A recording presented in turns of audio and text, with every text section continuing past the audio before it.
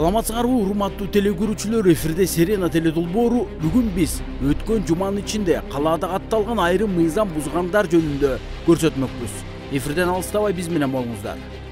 Мен кайгул милициянын калаадагы ленин районуна бөлүнгөн экипажына олтурдум. Бул бала жүз эки кызматына таяк жедим деп кайрылган. Биз ага келсек кошуна турган өзүнүн улуу баладан сокку болгонун айтты. Бирок тартип сакчылар тийиштүү кагаздарды алып чыгып арызын кабыл кылалы деп жатканда арыздануучу бала болду арыз жазбайм кийин кокус дагы ушундай болсо дароо кайрылам деп чыкты мындан улам түшүнүк кат жазды А в связи с чем это все произошло-то? Ну, семейные зацепились со словами. О, соседи, да? Нет, родственники.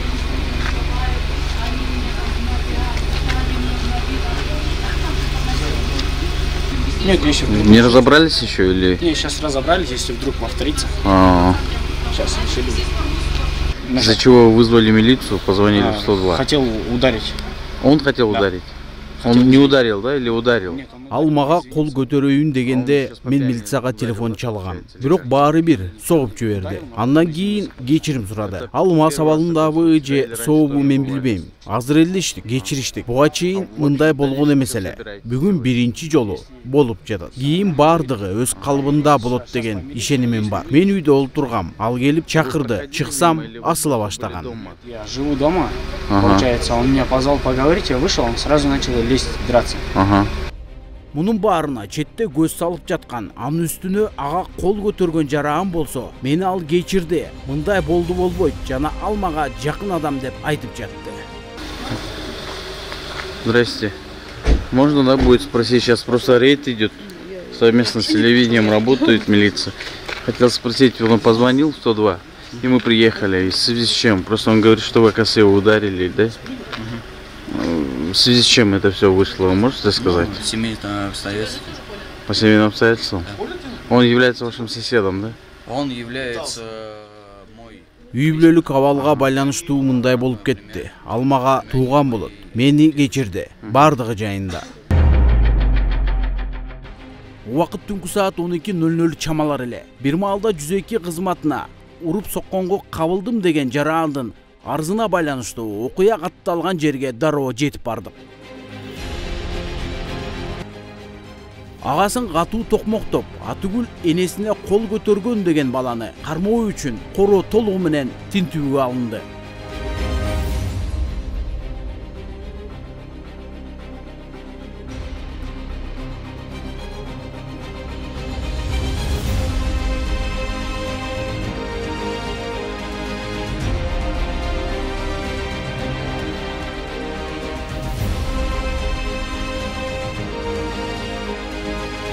Ошентип тыкыр издөөгө алынган жаран табылган жок токмоктолгон бул бала болуп өткөн окуя тууралуу төмөндөгүчө айтты.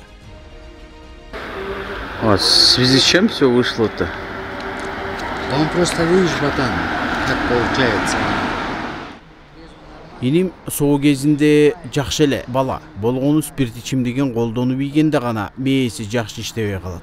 Эмне себептен экенин билбейм.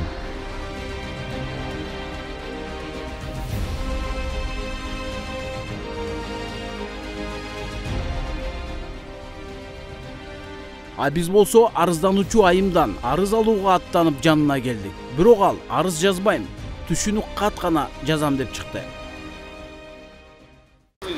А Заявление писать не будете, да? Нет, нет, Почему это?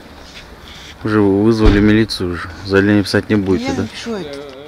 ал мага кол көтөрдү балдар эртең арыз жазганы барам биз болгону анын жүрөгүн түшүрөлү деп силерди чакырганбыз просто вызвала его. Это первый раз такое, да, или часто бывает? Нет, первый раз.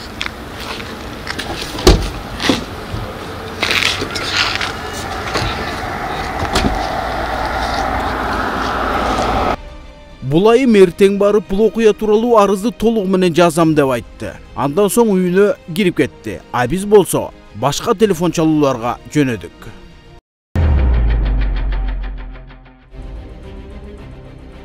ал эми бул өзүңөр көрүп турган honda stream менен volkswagen golf үлгүсүндөгү автоунаалары советский менен фрунзе көчөлөрүнүн кесилишинде бири бирин кысып кагышкан экен.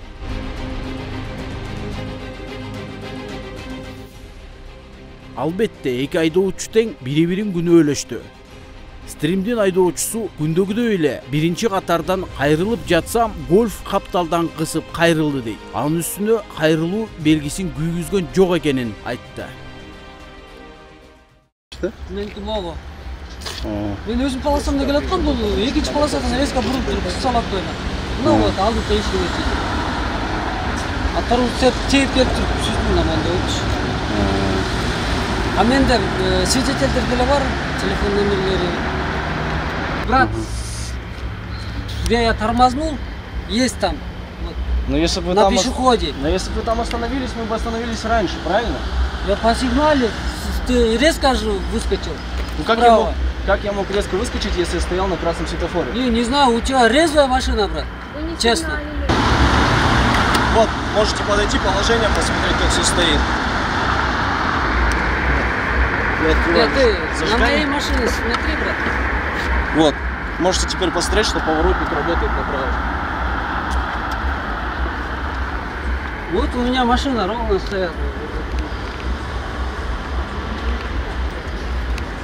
стоят.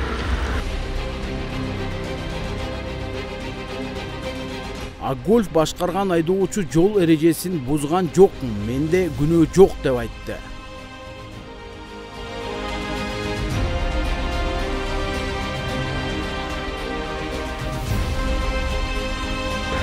Короче, мы с сестренкой ехали в Монгол, в сторону Монгола поужинать. Стали на светофор, загорелся красный свет.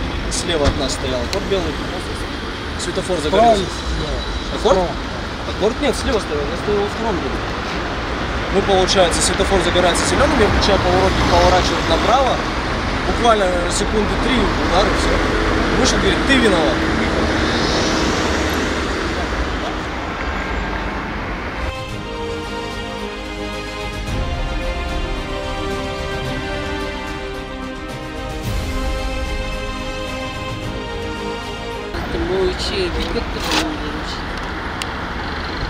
Он причем сам говорил, сестренка что он быстро ехал. А мол жер бар болчу крыло ал өзү бар болчу ал эч эмеси жок крылодо өзүндө бар болчу вот фара сынып тур могу бампер менен пикаптан чыкпады да чыкты да экинчи эле мен өзүм полосамда келаткам дейт как это вообще туура эмес вот кандай сүзүп калам мен резко кайрылайын деп Вы, пожалуйста, не рассказывайте, краска у меня на машине не синяя, попрошу заметить, он зеленый. Во-вторых, у него бампер был уже разбит и все сломано. Не, бампер. И вот это накидывать не, не, на здесь, меня, пожалуйста, не здесь надо. сломанный был. Но здесь бампер, вот, вот здесь удар был. У меня Вот машина здесь. зеленая, не синяя. Не, вот как это У меня получается? машина это, зелёного это цвета. раньше так был, да, у меня машина, да? Видимо, было. А потому Ох, что это, вот, блин. вот, вот. Не, не, брат. А вот здесь, вот, вот здесь, че, вот, видишь? Вот, пожалуйста, на камеру, Да. если можно, приблизьте, посмотрите, что там именно голубой такой, голубой синий цвет, а машина зеленая. Вы сами говорили мне, сестренки, что вы ехали быстро оттуда. Не, не, не быстро, я когда ехал, уже, уже зеленый был. Я хотел остановиться, уже все такое зеленый. Я трогался, ну и сразу тут, вот, когда Как вы могли пешеход доехал, если я тронулся на зеленый с поворотом, я тронулся, потому что машина первая уехала аккорда, я поворачивал. Где Откуда логика взялся аккорд? Какой Аккорд и был он в левом ряду белого Ну, ты цвета. там стоял же. Я стоял вот здесь, а слева. Вот Не, здесь. да. Да. Значит, он отгонял вот так, да? И Встречку, на светофоре вот так две машины стояли. да? Да, да. Байка Горгань білясыз Білесіз да Горгань? На это, машине Горького? Нет, не Алматыда Горки. Горки деп милиция кызматкерлери окуя катталган жерди ченөөгө алышып тийиштүү кагаздарды толтурушту андан соң убактылуу унаа токтотулчу жайга сүзүшкөн эки унааны коюу үчүн айдоочулар менен бирге жөнөштү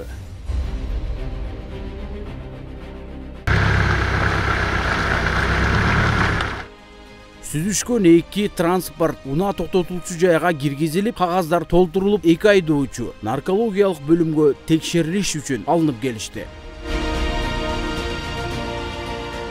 Ошону менен экөө тең таза экени аныкталды. Тийиштүү айыптар жазылып тапшырылды. Бирок бул кырсыктын катталганына ким күнөөлүү ким туура эмес кайрылганын өзүбүзчө чечишип алабыз деп кош айтышты. Ушуну менен үйлөрүнө бет алышты. Ушуну менен көрсөтүүбүз соңуна келип чыкты. Эфир аркылуу көрүшкөнчө саламатта калыңыздар.